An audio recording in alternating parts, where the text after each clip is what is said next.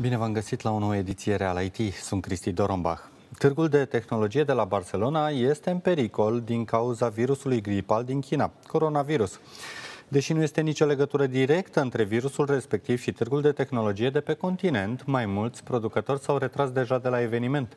Printre aceștia, LG și ZTE, importanți producători de telefoane, dar acum și Sony și Amazon au renunțat să mai participe de frica coronavirusului.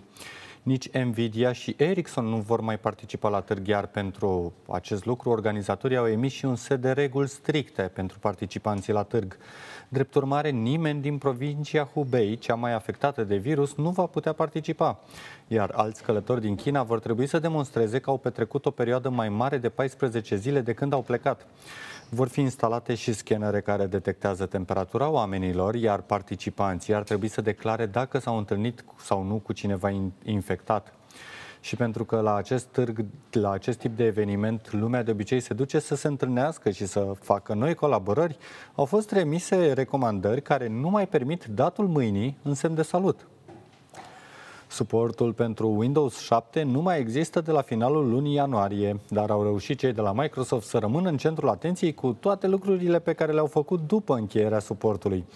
Odată au modificat wallpaper-ul într-un fundal negru care i-a făcut pe mulți să se gândească că folosesc un sistem de operare mort.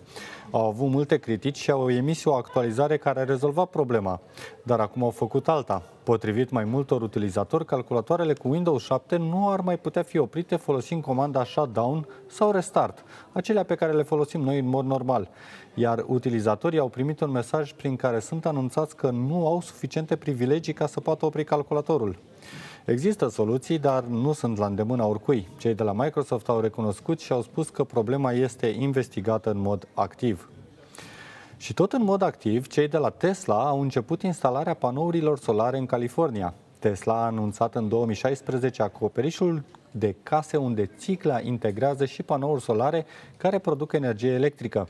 În 2017 au deschis precomenzile, iar capacitatea fabricii care produce aceste acoperișuri este de doar 1000 de acoperișuri pe săptămână.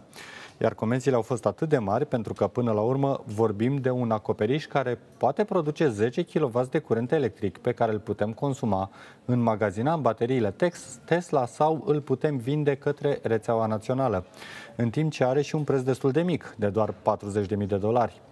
Elon Musk, CEO-ul Tesla, a anunțat pe Twitter că au început instalarea în California pentru aceste acoperișuri, iar în curând și casele din Europa și China se vor putea bucura de acoperișurile de la Tesla și vor putea produce energie electrică din panourile solare.